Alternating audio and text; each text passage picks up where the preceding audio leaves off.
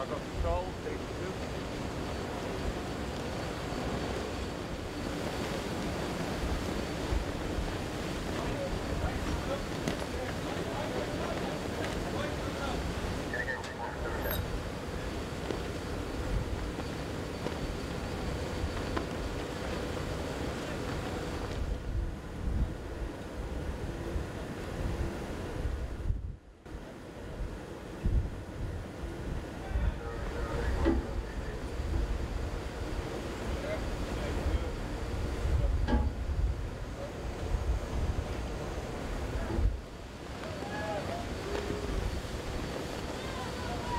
Carpenter Consulting. We'll be on the same page.